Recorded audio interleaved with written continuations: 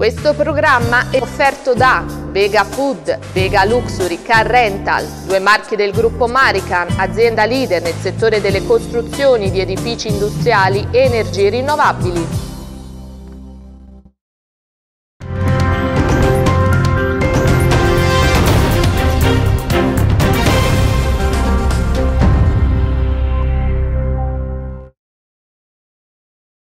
Buonasera e ben ritrovati al prima TG Flash, iniziamo subito dal nuovo DPCM approvato dal Presidente del Consiglio Giuseppe Conte che ha illustrato in una conferenza stampa alla Nazione le nuove misure previste per salvare il Natale ed evitare una terza ondata di contagi da coronavirus. Il provvedimento è entrato in vigore nella giornata di venerdì 4 dicembre, sentiamo un estratto dalla conferenza stampa del Premier.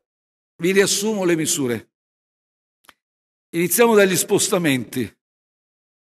Dal 21 dicembre al 6 gennaio sono vietati tutti gli spostamenti da una regione all'altra, anche per raggiungere le seconde case. Attenzione, nei giorni 25 dicembre, Natale, Santo Stefano, 26 dicembre e 1 gennaio sono vietati anche gli spostamenti da un comune all'altro. Su tutto il territorio nazionale resta il divieto di spostarsi dalle 22 alle 5 del mattino. Per Capodanno però questo divieto sarà esteso dalle 22 della sera prima alle 7 del mattino del primo gennaio. Ovviamente ci si potrà sempre spostare per esigenze lavorative, per motivi di salute e anche per casi di necessità.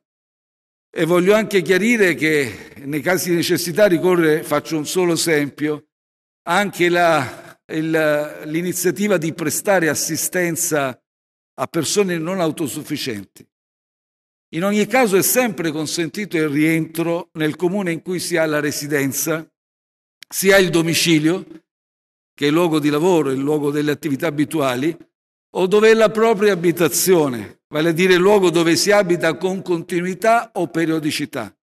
Ecco, questo permetterà, faccio un esempio, il ricongiungimento di coppie che sono lontane, distanti per motivi di lavoro, ma che convivono in una, quantomeno con una certa frequenza, periodicità nella medesima abitazione. Rientri dall'estero. Gli italiani che andranno all'estero per turismo tra il 21 dicembre e il 6 gennaio al rientro dovranno sottoporsi alla quarantena. È una misura chiaramente dissuasiva, non sappiamo dove andranno, non sappiamo se dove andranno saranno consentiti veglioni, festeggiamenti e quali misure saranno previste ma anche i turisti stranieri che arrivo, arrivano in Italia nello stesso periodo saranno sottoposti alla, misura, alla stessa misura della quarantena. Il Presidente si è anche espresso sull'apertura dei negozi ed una misura per sostenere le attività commerciali, il piano Italia Cashless. Ascoltiamo le parole del Premier. Quanto ai negozi, da venerdì 4 dicembre fino al 6 gennaio i negozi potranno rimanere aperti fino alle ore 21. Non vogliamo limitare lo shopping, la consuetudine de, di scambiare dei doni natalizi. Dal 4 dicembre al 15 gennaio, nei giorni festivi e prefestivi, nei centri commerciali saranno però aperti solo alimentari, farmacie, parafarmacie, sanitari, tabacchi, edicole e vivai. Vi, eh, sempre in collegamento con lo shopping cosiddetto natalizio per sostenere le attività commerciali, questo settore che è in grande sofferenza, e anche per aiutare le famiglie. Abbiamo deciso di far partire da subito il piano Italia cashless. Cosa significa? Che dall'8 dicembre prenderà il via l'extra cashback di Natale, che prevede che chi paga con eh, carte, carte anche pressoché gratuite, app, un rimborso, avrà un rimborso del 10% su tutti gli acquisti effettuati entro il 31 dicembre, tutto, anche comprando pane, pasta, carne oppure giocattoli per i nostri bambini, andando dal parrucchiere, andando dal dentista. Ci sarà un rimborso che potrà quindi arrivare sino a 150 euro e questo, attenzione, non vale per la famiglia, ma per la singola persona, quindi sarà accumulabile anche all'interno della famiglia. Abbiamo voluto peraltro evitare che questa misura di vantaggio fosse valida anche per gli acquisti online, perché è un periodo questo della pandemia in cui, in cui tutti, un po' tutti, abbiamo incrementato, contribuito a incrementare gli acquisti online. Adesso però dobbiamo favorire gli esercizi commerciali, i negozianti, gli esercizi di prossimità. Ancora vi ricordo che per partecipare a questo programma dovete scaricare l'app Io, identificarvi con la vostra, con la vostra carta di identità elettronica o SPID. Sembra molto complicato, ma vedrete che è molto semplice. Il presidente della regione Campania Vincenzo De Luca parla durante la sua abituale conferenza stampa del venerdì in diretta social, ha detto la regione Campania la regione che uscirà prima dal coronavirus e pur sempre in un clima di trasparenza. Abbiamo raddoppiato le terapie intensive, ora ne abbiamo occupate il 26-27%, questo mentre in Italia ci troviamo davanti a dati che sono clamorosamente falsati, ci sono regioni che trasmettono un dato inverosimile per far abbassare la percentuale di ricoverati in terapia intensiva, nelle poche settimane sarà eh, chiaro che la Campania è una delle regioni che ha trasmesso i dati veri. Mm, vi erano regioni che dicevano di fare 20.000, 30.000, 50.000, 100.000 test al giorno, poi sono scesi improvvisamente e invece la Campania è una delle regioni che fa dai 25.000 ai 15.000 test veritieri molecolari, spiega De Luca. Siamo la regione che trasmette i risultati dei tamponi entro 24 ore con un sms a quasi la totalità di chi effettua il tampone, ha detto il Presidente che ha toccato affrontato anche l'argomento delle vaccinazioni, precisando che 1 milione e 500 mila vaccini influenzali sono arrivati in regione, anche per le vaccinazioni anti-Covid, la Campania è, è e sarà all'avanguardia, da gennaio sarà prevista una sorta di esercitazione per una vaccinazione anti-Covid straordinaria, vedrete che saremo anche in questo una regione all'avanguardia, ha detto Vincenzo De Luca.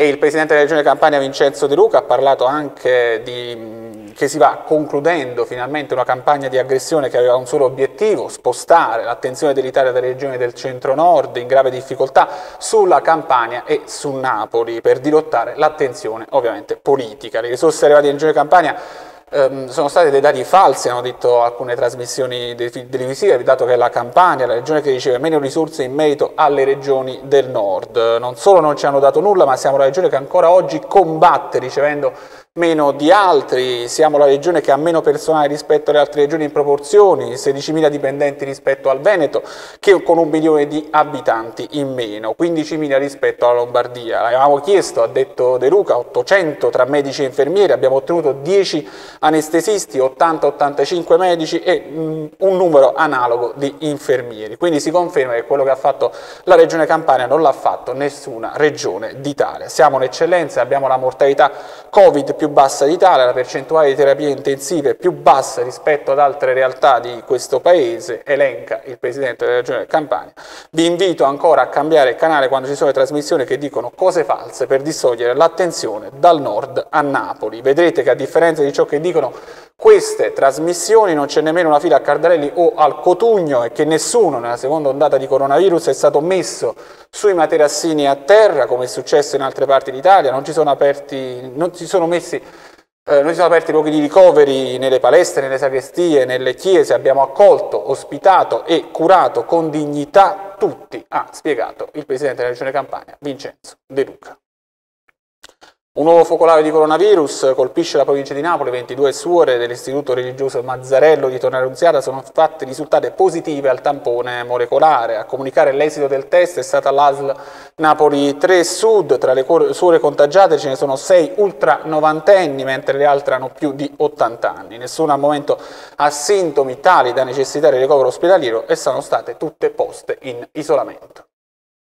Da venerdì 4 dicembre parte ufficialmente il primo servizio gratuito di consegna dei libri a domicilio nella città di Caserta. L'idea è nata dalla rete di associazioni che gestisce il progetto Biblioteca Bene Comune, sostenuto dalla Fondazione Con il Sud e dal Centro per il Libro e la Lettura, all'indomani del decreto eh, dello scorso 3 novembre che chiudeva le biblioteche causa Covid-19 ma confermava i libri tra i beni di prima necessità e pertanto ne consentiva la consegna, il prestito nonché la vendita. Le associazioni attuazione del progetto Biblioteca Bene Comune hanno quindi avviato un lungo e condiviso lavoro di acquisto di libri, catalogazione reperimento di testi donati dai singoli cittadini e da altre organizzazioni del territorio per creare il fondo Biblioteca Bene Comune che verrà successivamente donato alla Biblioteca Ruggero di Caserta, i cui testi sono da oggi richiedibili per la consegna a domicilio.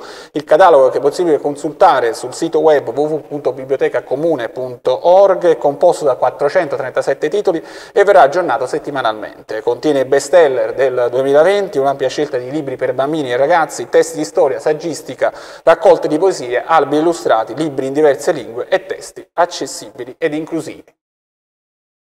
E passiamo allo sport, niente pass per i sedicesimi di finale per il Napoli di Nino Gattuso che non è andato oltre l'1-1 ieri sera contro la Z Alkmaar rimandando il discorso qualificazione all'ultimo turno quando doveva almeno pareggiare contro la Real Sociedad che non è andata oltre 2-2 contro il Rijeka. Rino Gattuso, allenatore del Napoli, ha detto dopo il pareggio potevamo chiudere, non siamo stati bravi, non abbiamo fatto una grandissima prestazione, abbiamo commesso errori, alla fine ci è andata bene, abbiamo dato troppo campo a loro, sull'1-0 non siamo stati bravi a gestire, se si va ad analizzare bene ci sarebbe anche la sconfitta oggi, ma non è, stato, non è facile venire a giocare qui, eh, lo sappiamo, potevamo leggere meglio delle situazioni, ultimamente chi entra dalla panchina ci sta dando tanto, oggi invece hanno dato troppo poco.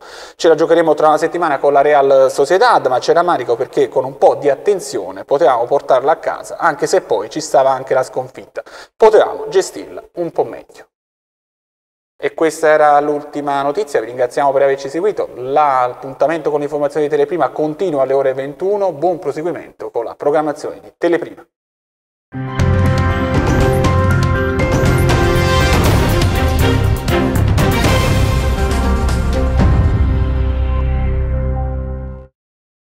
Questo programma è stato offerto da Vega Food e Vega Luxury Car Rental Due marche del gruppo Marican, azienda leader nel settore delle costruzioni di edifici industriali e energie rinnovabili.